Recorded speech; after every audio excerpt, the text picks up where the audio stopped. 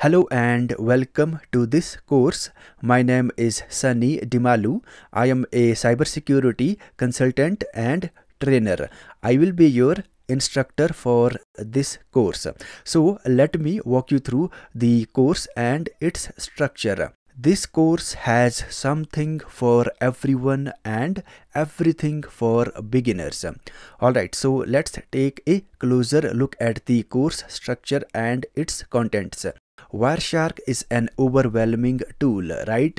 When you are just starting out, it certainly confuses you a lot. So, in order to understand Wireshark or anything which is complicated, the course structure plays an important role. So I have structured this course in a way that your transition from knowing nothing to mastering Wireshark will be very smooth or flawless and I am saying this with utmost responsibility. This course has been divided into multiple sections. In the first half of the course, you will be taught the basics of Wireshark, such as understanding its interface, optimizing Wireshark, and learning its core concepts and tools then we will move to the filters. Filters are heart of the wireshark you will learn how to efficiently implement capture and display filters to search and capture the exact traffic that you want. Throughout uh, the course, you will learn more than 50 filters. Now, after learning the fundamentals of Wireshark, we will take a short break from Wireshark and prepare ourselves for the packet analysis and advanced concepts. We will learn the essential concepts that are required for the packet analysis. Wireshark is an overwhelming tool, right? But in the end, it just displays the information that goes behind the scene when data transmission happens. So to understand that we have to learn the networking essentials. We will start with both communication models OSI and TCP IP model.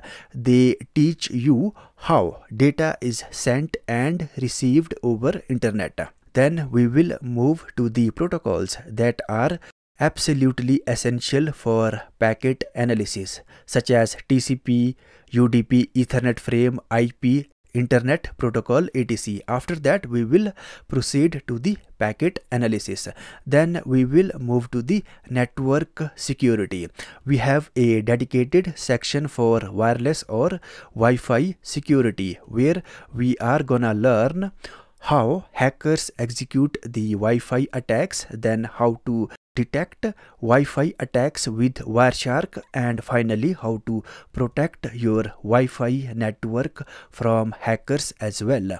Then we have another section for analyzing the Nmap scans.